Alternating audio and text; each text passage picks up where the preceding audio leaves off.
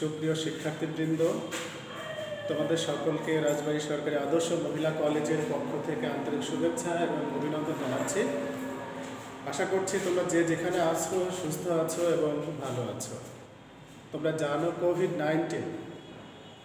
একটি দুর্যোগ একটি মহামারী যেটি বিশ্বময় ছড়িয়ে পড়েছে বাংলাদেশ তার প্রভাব থেকে মুক্ত নয়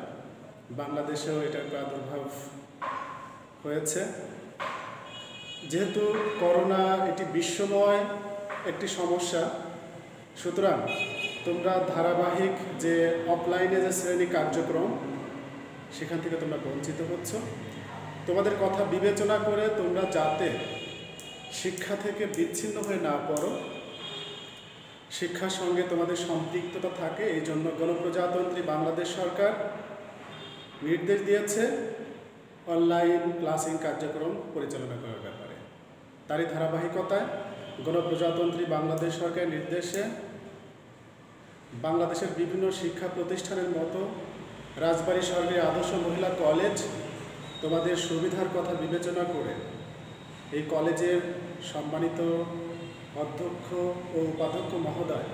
তাদের বিশেষ অনুপ্রেরণায় আমরা এই অনলাইন ক্লাসিং কার্যক্রম গ্রহণ করেছি আশা করছি তোমাদের এই ক্লাসিং কার্যক্রম অবশ্যই ভালো লাগবে এবং এই ক্লাসিং কার্যক্রম থেকে অনলাইন কার্যক্রম থেকে তোমাদের যদি উপকার হয় তাহলে আমরা আন্তরিকভাবে কৃতজ্ঞ থাকব এবং আন্তরিকভাবে আমরা বুঝবো যে আমাদের এই প্রসেসটা কিছুটা হলেও আলোর মুখ দেখেছে আমাদের এই প্রসেসটা অবশ্যই এই প্রয়াসটা অব্যাহত থাকবে তো আগের ক্লাসে আমরা যেখানে শেষ করেছিলাম আজকে আমরা সেখান থেকে ইনিশিয়েট করতে যাচ্ছি আমি তরঙ্গ অধ্যায়ের আজকে যে বিষয়টা নিয়ে আলোচনা করতে যাচ্ছি সেটা হচ্ছে বিট এবং বিটের আরেকটি নাম রয়েছে সেটি হচ্ছে স্বরকম্প তোমরা এখানে দেখো যে বোর্ডে আজকের আলোচনা বিট বা স্বরকম্প নিয়ে আলোচনার ব্যাপারটা বলা হয়েছে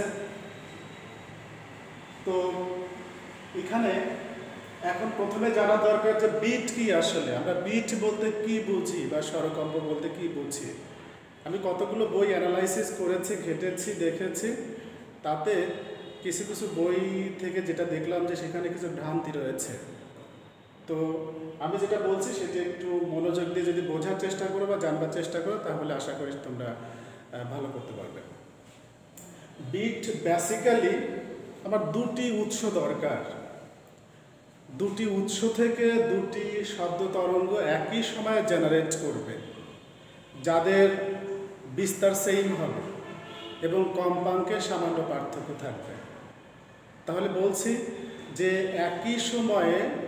দুটি উৎস থেকে দুটি তরঙ্গ জেনারেট করবে যাদের বিস্তার সেইম এবং কম্পাঙ্কে সামান্য একটি ডিফারেন্স থাকবে এই ডিফারেন্সটা এমন হওয়া উচিত যাতে করে প্রতি সেকেন্ডে উৎপন্ন বিটের সংখ্যা দশকে ক্রস না করে এক্সিড না করে তাহলে বোঝাই যাচ্ছে যে দশের বেশি বিট উৎপন্ন হতে পারে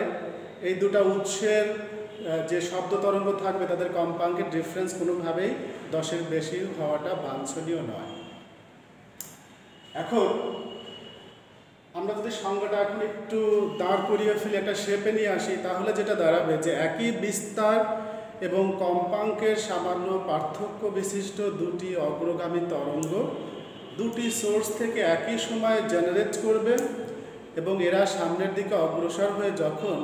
একটি আরেকটির উপর সুপার ইম্পোজ করবে দ্যাট ইজ একটি আরেকটির উপর যখন আপতিত হবে তখন শব্দের তীব্রতার পর্যায়ক্রমিক হ্রাস বৃদ্ধি ঘটবে অর্থাৎ লব্ধি তরঙ্গের যে বিস্তারটা যখন ম্যাক্সিমাম হবে তখন সেখানে প্রবল শব্দ সৃষ্টি হবে এবং যখন বিস্তারটা মিনিমাম হবে দ্যাট ইজ নাল বা শূন্য হবে সেখানে নিঃশব্দ সৃষ্টি হবে তো এই যে ঘটনাটা এটি বেসিক্যালি বিট তাহলে আবার সংজ্ঞাটা আমি একটু আবার ক্লিয়ার করছি একই বিস্তার এবং কম্পাঙ্কের সামান্য পার্থক্য বিশিষ্ট দুটি শব্দ তরঙ্গ একই সময়ে দুটি উৎস থেকে জেনারেট করবে এবং তারা অগ্রসর হয়ে সামনের দিকে অগ্রসর হয়ে যখন একটি আরেকটির উপর সুপার ইম্পোজ করবে তখন শব্দের তীব্রতার যে পর্যায়ক্রমিক হ্রাস বৃদ্ধি ঘটবে সেটিকে আমরা বীজ বা সরকম্প বলব ওকে এবার আসো যে প্রতি সেকেন্ডে উৎপন্ন বিটের সংখ্যা উৎসদয়ের কম্পাঙ্কের পার্থক্যের সমান তো এখানে এটা হচ্ছে প্রতি সেকেন্ডে উৎপন্ন বিটের সংখ্যা আর একটা হচ্ছে প্রথম যে উৎসটা সোর্স ছিল সেটার যে ফ্রিকোয়েন্সি এফ ওয়ান এবং এফ টু হচ্ছে দ্বিতীয় যে উৎসটা ছিল সেইটা থেকে যে তরঙ্গটা জেনারেট করছে সেটার যে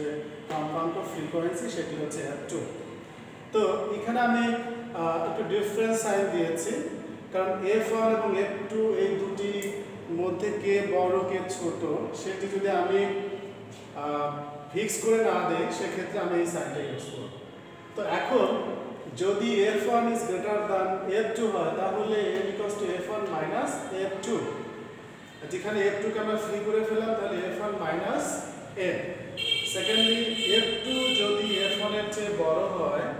then n equals to f2 minus f1 that is f2 equals to f1 plus n এবং এক এবং দুইকে কে যদি আমরা সমন্বয় করি তাহলে f2 equals to f1 plus minus n এখানে আমরা ধরে নিচ্ছি যে f1 টা হচ্ছে জানা কম্পাঙ্ক আর n টা হচ্ছে প্রতি সেকেন্ডে উৎপন্ন বিটের সংখ্যা আর f2 হচ্ছে অজানা কম্পাঙ্ক তো আমরা খুব সহজেই আমরা একটা জানা কম্পাঙ্কের সাহায্যে অজানা কম্পাঙ্ক বের করতে পারি তো সেটি বের করবার জন্য কিছু বইতে ডিটেলস লেখা আছে তো সেটি সেটিকে আমি একটু কনসাইজ করে অনেক শর্টকাটে নিয়ে এসেছি যেটি তোমরা যদি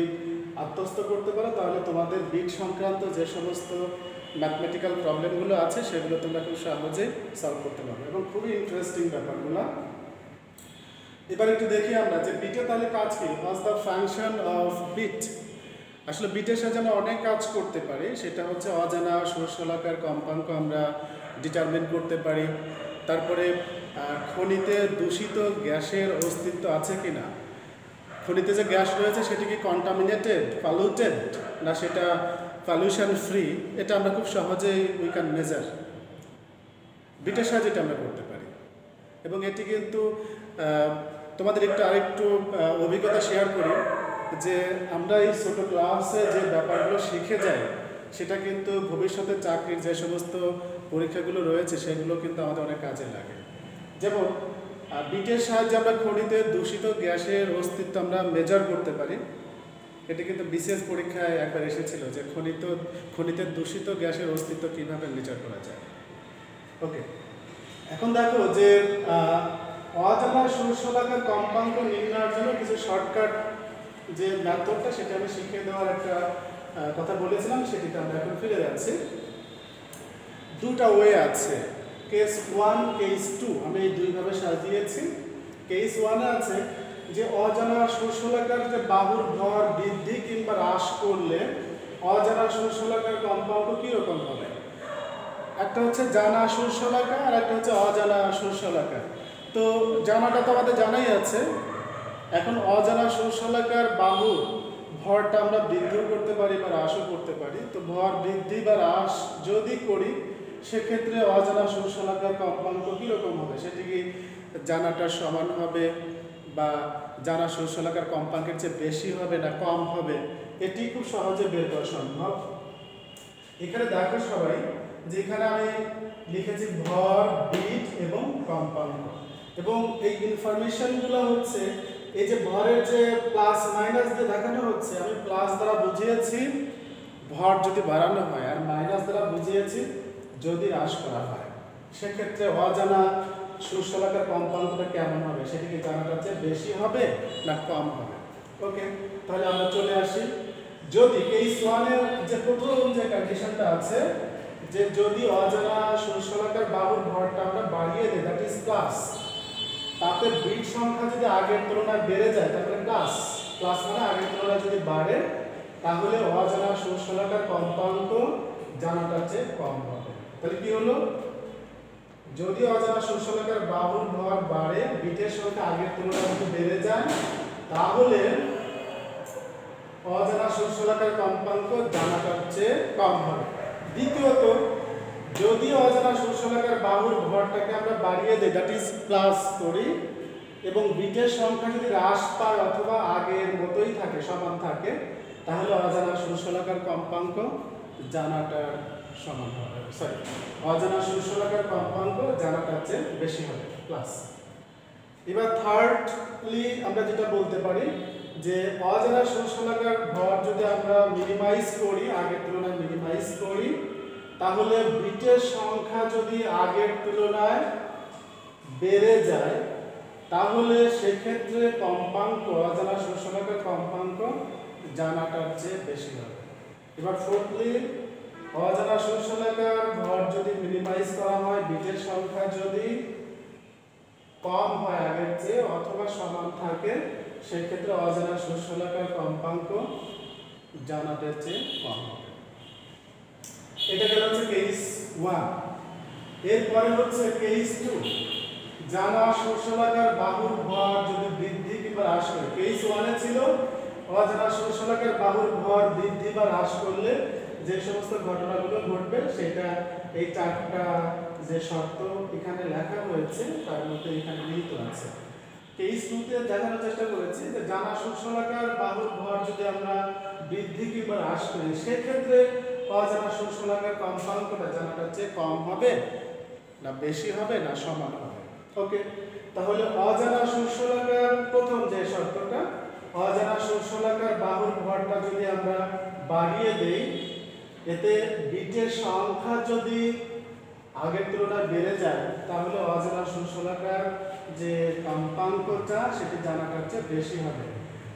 একটু যদি আমরা লক্ষ্য করি তাহলে কেস ওয়ানের যে প্রথম শর্ত ছিল এবং কেস টু এর প্রথম শর্তটা কিন্তু টোটালি বিপরীত এখানে প্লাস প্লাসে মাইনাস হয়েছে এখানে প্লাস প্লাসে প্লাস হচ্ছে এবার কেস টুতে যদি অজানা সুশলাকার যে ভরটা যদি বাড়িয়ে দেয় আর বিটের সংখ্যা যদি কম হয় কিংবা আগের চেয়ে কম হয় অথবা সমান থাকে তাহলে অজানা সুশলাকার কম্পাঙ্কটা জানাটার চেয়ে কম হবে দ্যাট ইজ মাইনাস এখানে যে তুমি কেস ওয়ানের যে দুই নম্বর শর্ত যেটা ছিল কেস ওয়ানের যে দুই নম্বর শর্ত ছিল এই দুই নম্বর শর্তের সঙ্গে তুমি যদি মিলা সেটা দেখবে যে টোটালিটি হচ্ছে অজানা সুশলাকার করতে এটার সাথে এটা একটা বৈপরীত্যে একটা অবস্থান লক্ষ্য করা যাচ্ছে থার্ডলি কেস ওয়ানে যে শর্তটা ছিল এটাও কিন্তু তোমার মনে হয়ে যাচ্ছে এখানে ভরটা যদি মিনিমাইজ করা হয় বিটের সংখ্যা যদি আগের তুলনায় বেড়ে যায় তাহলে কম্পাঙ্কটা জানাটা চেয়ে কম হবে এখানেও যে থার্ড কন্ডিশন আছে এখানে কিন্তু মাইনাস প্লাসে প্লাস ছিল এখানে মাইনাস প্লাসে মাইনাস হয়েছে এবার ফোর্থ কি আমরা যেটা দেখতে পাচ্ছি সেটা হচ্ছে কেস ওয়ানে যে শর্তটা ছিল এখানে কি উল্টা শর্ত হয়েছে এখানে ছিল হচ্ছে ভর যদি কমানো হয় বিটের সংখ্যা যদি কমে অথবা আগের মতোই থাকে তাহলে অজানা সুরসলাপের কম্পাঙ্কটা আগের চেয়ে কম না এখানে উল্টা হয়েছে জানা সুরসলাপের ঘর যদি আমরা বাড়িয়ে দেই বিটের সংখ্যা যদি কমে অথবা আগের মতোই থাকে সেক্ষেত্রে অজানা সুরসলাকার কম্পাঙ্ক জানাটার চেয়ে বেশি হবে এই প্রসেস অ্যাপ্লাই করে আমরা খুব সহজেই অজানা সুরসলাকার যে কম্পাঙ্কটা সেটা আমরা বের করতে পারি ওকে এটা ছিল আজকে মোটামুটিভাবে আলোচনার বিষয় তোমাদের কাছে আমার বিশেষ নিবেদন সেটা হচ্ছে তোমরা একটু পড়াশোনা করতে হবে তোমাদের শুধু হাত পা গুটিয়ে বসে থাকার কোনো সুযোগ নেই তোমরা এই যে করোনাময় পরিস্থিতি এই পরিস্থিতি এই যে ঘরে বসে থাকা এই সুযোগটা এটা একটা আমি মনে করি যে এটা একটা অনেক বিগ অপরচুনিটি এই সুযোগটাকে তোমরা প্রপারলি ইউটিলাইজ করতে পারো ইউটিলাইজ করার সুযোগ রয়েছে তোমরা বাসায় এখন যেহেতু অনলাইন কার্যক্রমটা অনেক জোরে সোরে চলছে তো মোটা দাগে আমরা বলতে পারি যে অনলাইন কার্যক্রমে কোনো ঘাটতি নেই সুতরাং এই সুযোগটাকে কাজে লাগিয়ে তুমি তোমার এফিসিয়েন্সিকে তোমার স্কিলকে তুমি অনেক বেশি ডেভেলপ করতে পারো আর যেহেতু টেকনোলজিক্যালি আমরা অনেক বেশি আপডেটেড আমাদের ডিজিটাল বাংলাদেশ এটা এগিয়ে যাচ্ছে এগিয়ে যাবে তোমার কোনো সমস্যা তুমি খুব মুহূর্তের মধ্যেই আমাদেরকে জানাতে পারো ইনবক্সে আমাদেরকে জানালে সেটির সঠিক এবং উপযোগী যে উত্তরটা সেটি আমরা প্রদানের জন্য আন্তরিক যে প্রসেসটা সেটি ডেফিনেটলি অব্যাহত থাকবে তো তোমাদের কাছে আরও বিশেষ নিবেদন যে আমাদের কয়েকটি মাস কেটে গেল জানি না তোমরা